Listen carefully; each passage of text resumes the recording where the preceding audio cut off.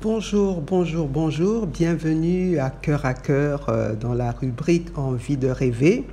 Oui, parce que lorsque Dieu agit, c'est toujours comme dans un rêve. Alléluia. Donc vous pouvez toujours voir ce passage dans le psaume 126. Alléluia. Je suis le pasteur Chantal euh, et nous allons ensemble pendant ces moments, comme euh, tous les, mardis, intercéder et prier ensemble pour la famille, les amis, les collègues et les cas spirituels ou physiques euh, que nous pouvons constater, qui nous interpelle généralement. Donc, vous savez, si quelqu'un a besoin d'aide, si quelqu'un vit une situation préoccupante, nous croyons que la main de Dieu n'est pas trop courte pour agir. Alors, alors aujourd'hui, avant de rentrer dans la prière, nous allons euh, euh, nous exhorter un peu par rapport à Goliath. Qu'est-ce que c'est que les Goliaths aujourd'hui? Nous construisons des Goliaths euh, dans notre environnement et euh, euh, parfois c'est très difficile de s'en débarrasser, mais avec Jésus, tout est possible. Amen. Donc comment ça se passe?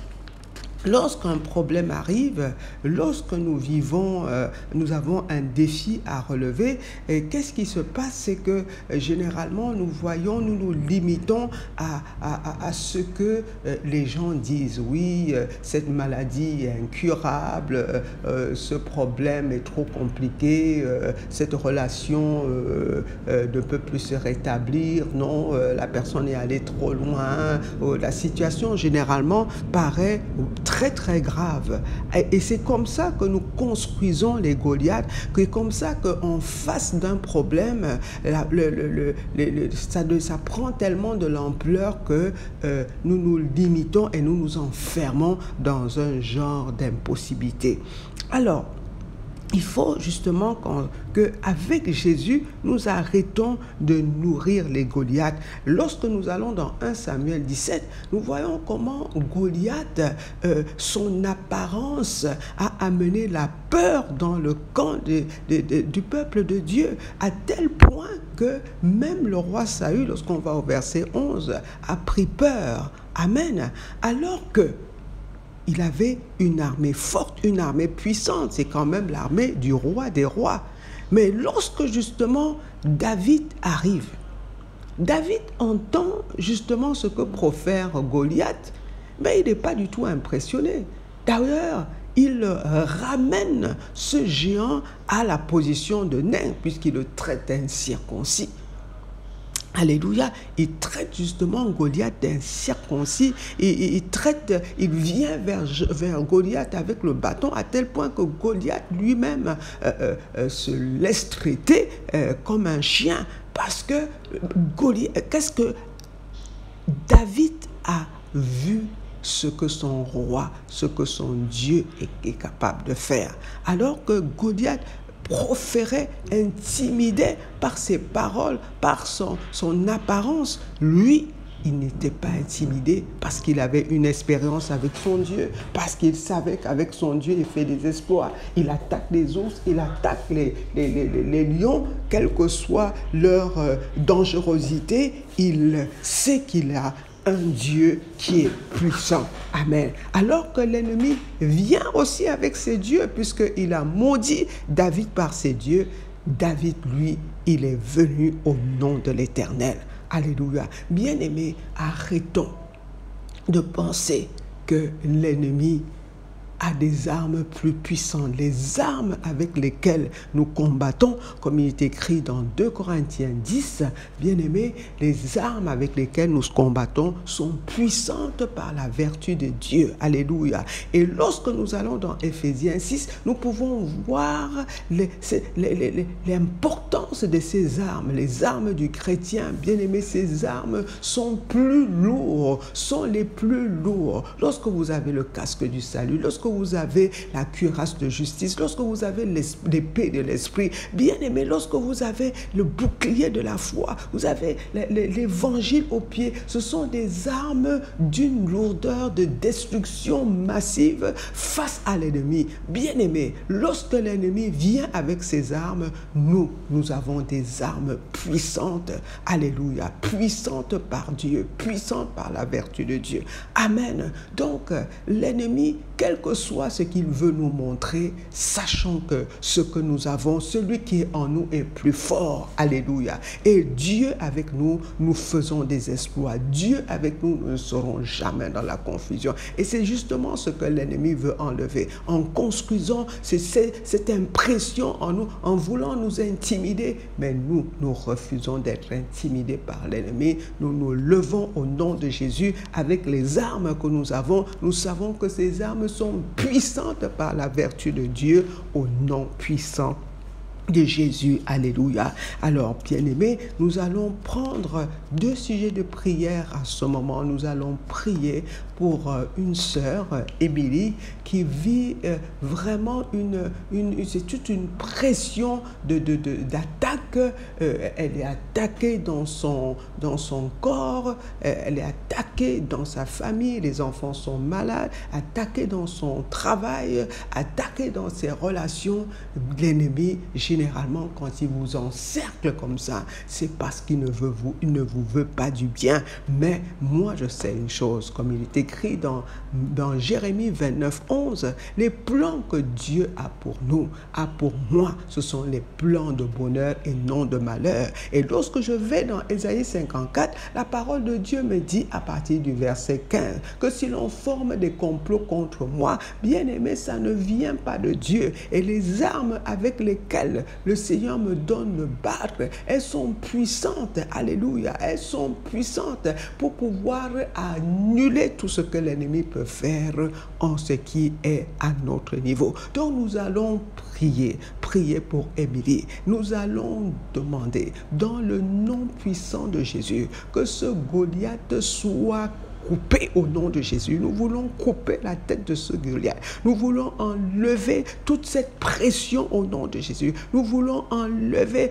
toute cette pression que l'ennemi veut mettre sur Émilie. Toute cette pression qui vient avec la maladie, qui vient avec les mésententes, qui vient avec les problèmes d'argent, avec les problèmes de santé, avec les problèmes professionnels. Nous venons briser au nom puissant de Jésus-Christ. Quels que soient les esprits derrière ce problème, derrière ces avalanches de problèmes qui tombent sur Émilie, nous nous levons au nom de Jésus. Quel que soit le Goliath, nous lui coupons la tête au nom de Jésus parce que nous venons dans ce souci, nous venons dans ce problème avec l'armée des rois des rois, avec l'armée du Seigneur des seigneurs. Nous venons avec le roi des rois, nous venons avec l'Éternel.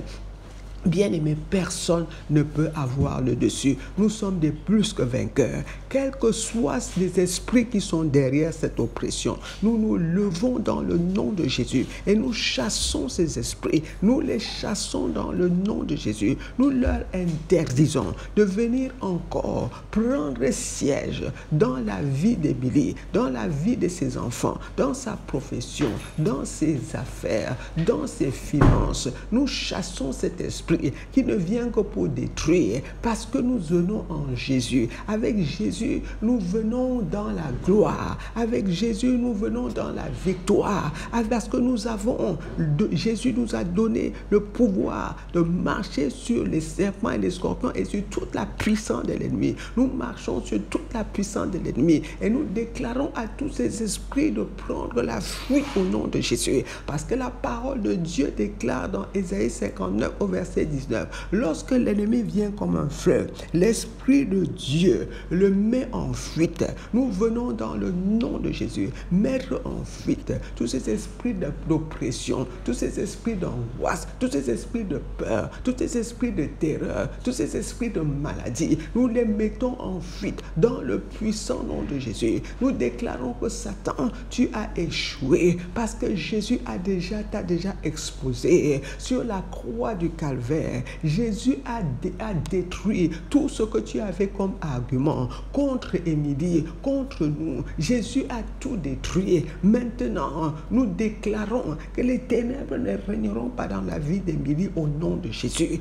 Que la lumière de Dieu brille, que la lumière de Dieu brille dans sa vie, que la lumière de Dieu illumine sa maison, que la lumière de Dieu prenne place, que la lumière de Dieu éclaire, éclaire sa vie, éclaire son âme, afin que l'on sache que Émilie sert le Dieu vivant. Quels que soient les coups que Émilie a reçus maintenant, nous les déclarons nuls et sans effet. Quel que soit ce que l'ennemi met en œuvre, quelles que soient ses stratégies, pour pouvoir amener à limiter, à se limiter dans la peur, à se limiter dans l'abandon. Nous venons détruire dans le nom puissant de Jésus. Seigneur, nous te remercions parce que tu es le Dieu qui est à l'œuvre, parce que tu es le Dieu qui est parce que tu es le Dieu qui n'abandonne pas. Seigneur, tu as dit que tu n'abandonneras pas. Seigneur, nous croyons en ta parole parce que ta parole est vérité dans le puissant nom de notre Seigneur Jésus. Bien-aimés, nous voulons continuer à prier. Vous savez, actuellement en, Afrique, il y a tellement de situations, bien-aimés, qui nous interpellent à la prière. Nous voulons prier pour cette maman qui vient de perdre son fils bien-aimé à la fleur de l'âge. Et cet enfant, cet enfant, on ne peut même pas appeler enfant, ce jeune homme bien-aimé avait plus de 30 ans. Il paraît justement qu'il est parti dans une réception et on lui a, il a mangé malheureusement quelque chose? Est-ce que c'est une intoxication alimentaire? Est-ce que c'est un poison? L'autopsie nous laissera savoir ce qui en est. Mais pour l'instant, nous voulons saisir, bien aimé, cette opportunité pour prier pour deux points. Prier pour tous ces jeunes. Alléluia. Bien aimé, les jeunes sont tellement exposés. Les jeunes aujourd'hui sont tellement exposés à la jalousie, sont tellement exposés à la misère, sont tellement exposés à la précarité que lorsque à côté de vous, lorsqu'à côté des jeunes, ils trouvent des personnes qui ont l'air de mieux s'en sortir, bien aimé, souvent, il y a la jalousie qui naît, il y a des rancœurs qui naissent, il y a, qui naissent, il y a tellement de choses qui naissent. Mais nous voulons prier ces jeunes, prier pour ces jeunes, afin que le Seigneur les attire à lui. Bien-aimé, nul ne peut venir à Dieu si Dieu ne l'attire. Alléluia, nul ne peut venir. Nous voulons demander à notre Dieu de se lever dans notre jeunesse.